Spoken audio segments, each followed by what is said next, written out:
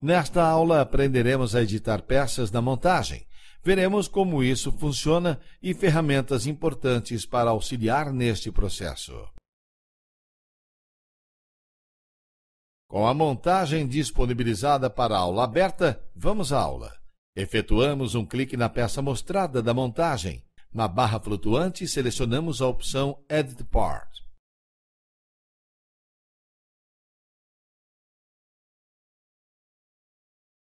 Observe que somente a peça que está sendo editada fica sólida, as demais ficam transparentes. Este tipo de edição é chamada em contexto e é quando editamos a peça no contexto ou ambiente de montagem. Note que na Property Manager, a feature da peça que estamos editando fica na cor azul, facilitando sua localização. Para alterar a transparência dos componentes que não estão sendo editados, utilizamos a ferramenta Assembly Transparency. Acionamos ela através da barra Features. Note que um menu é exibido onde temos as opções Opaque, que torna as peças opacas,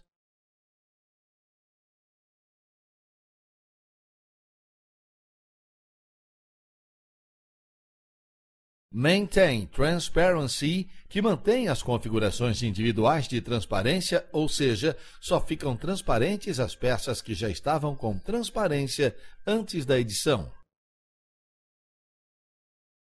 Force Transparency, que torna as peças transparentes. No SolidWorks, todo componente inserido em uma montagem torna-se vinculado ao arquivo de montagem no qual foi inserido.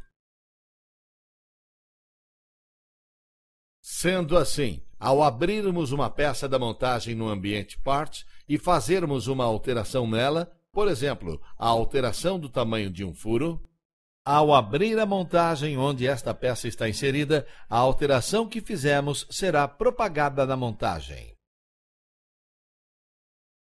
Da mesma forma, ao efetuar uma alteração na peça no arquivo de montagem, esta será propagada no arquivo de peça.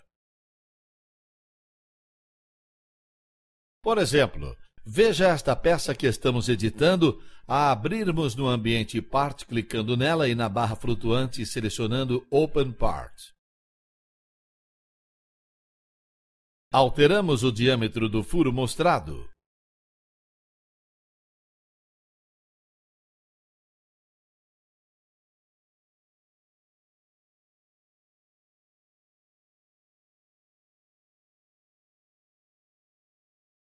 E voltamos para a montagem teclando Ctrl mais Tab.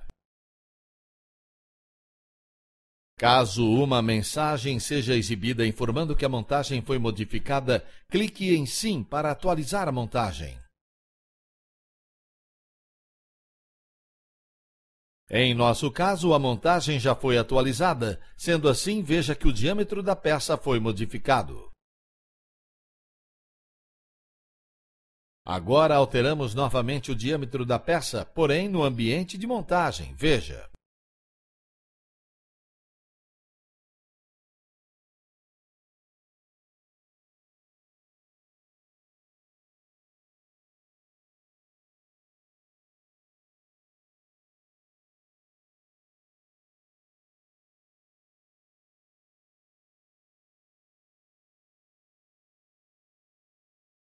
Abrimos a peça no ambiente Part e note que o diâmetro foi modificado. Voltamos para a montagem e saímos da edição da peça clicando no ícone mostrado. Uma das novidades desta nova versão do SolidWorks é a possibilidade de criarmos arredondamentos e chanfros nas montagens.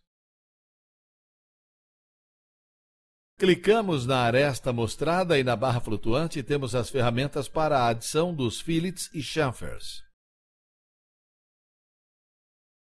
Selecionamos Fillet. A Property Manager é semelhante à da ferramenta Fillet no ambiente Part, a qual já estudamos. No entanto, nesta temos a guia Feature Scope, onde encontramos uma caixa. Ativando-a, os arredondamentos que adicionarmos serão propagados para o ambiente part da peça. Deixamos esta desativada, configuramos os parâmetros do fillet e confirmamos, veja.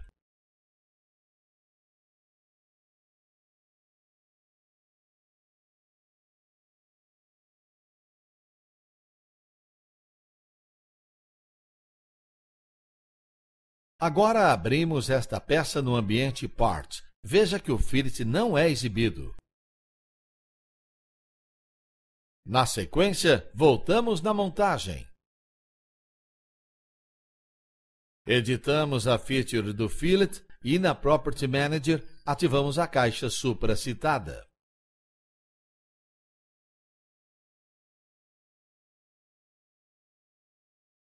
Confirmamos e abrimos novamente a peça.